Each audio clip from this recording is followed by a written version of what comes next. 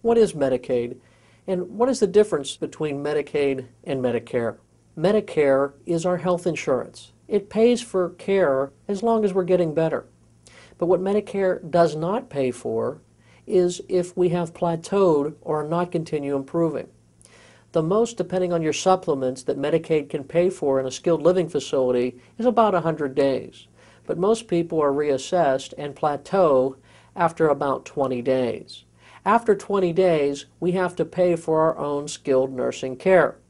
So my grandmother thought of herself as the $6 million woman because when she had a heart attack and was continuing to improve from the recovery from her quadruple bypass surgery, Medicaid care paid for just about everything. But when we talk about Medicaid, we're talking about a public benefit program that'll pay for skilled nursing home care. Now that's an important distinction to make in Pennsylvania because it doesn't pay for assisted living or non-skilled care. It is strictly a program to pay for skilled care. The reason it's important to get help paying for skilled care is because the average month of care in western Pennsylvania per month at a skilled care facility runs between seven and eight thousand dollars per month. Now, Medicaid pays for a lot of things. It'll pay for skilled care. It'll pay for a semi-private room. It'll pay for co-pays for other supplies and devices that are necessary. But there's certain things that Medicaid will not pay for.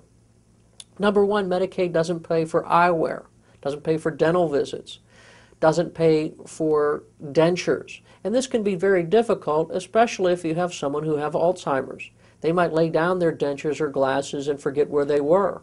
Or maybe another patient comes in their room and picks up the glasses that they've been looking for for four years and walks away with them. The idea behind doing planning is to make sure that we have money available to purchase these supplemental things. We recently lost my great aunt. She was sharp as a tack till the day she died at 92, but she had some physical limitations and had to go into a skilled facility. The phone and the television, the cable television, were her lifeline to the outside world. These are also things that Medicaid wouldn't pay for. So the idea is we set aside assets to use to supplement the care so that my aunt could maintain the phone and the other things that Medicaid wouldn't pay for. For additional information on other topics regarding estate planning, please call us at 1-800-879-0984 or you can visit us on the web at www.shieldsandboris.com. The Elder Law Offices of Shields and Boris, helping you protect your family legacy.